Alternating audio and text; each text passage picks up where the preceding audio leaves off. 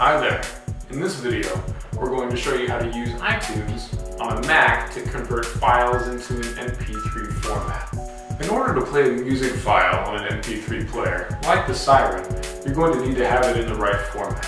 And uh, a lot of songs don't automatically come in a correct format for an MP3 player. There are many different file formats out there. They include MP3, WAV, WMA, FLAC, AIFF, and a lot more than that too. WMA and WAVs are actually compatible with the waterproof SYRYN, in addition to the MP3. But the MP3 file is the most common out of all of these, so that's what we're going to use with this video. We're going to use iTunes to do this. Specifically, we're going to use iTunes 12. iTunes 12 is the most current form of iTunes at the moment.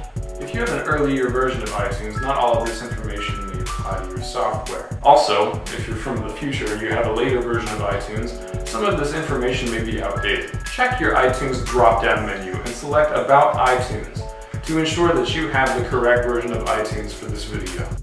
Here are the instructions. First, open iTunes. Navigate to the top menu. Click iTunes, open Preferences, and make sure that you're on the General tab of the Preferences window. Click the Import Settings button, and then click the Import Using drop-down menu. Select the option MP3 encoder and press OK.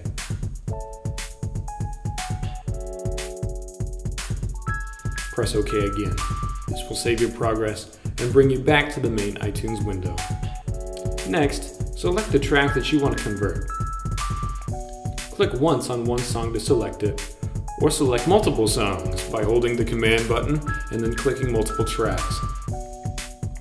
Each track you click as you hold the button should be highlighted. If you want to convert a lot of songs, navigate to a group of songs you want and click the top track in the group, hold the shift button and click the bottom track in the group.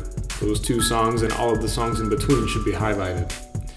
Now that you have your track selected, navigate to the top menu again and click File. Click Convert and a side menu will appear. Click Create MP3 version. This will create an MP3 copy of the file or files you have selected. You can now place these new files on your SYRYN or any other MP3 player. If you want to know more about how to navigate iTunes, we've also made a video for that, and you can click this card or the link in the description to learn more.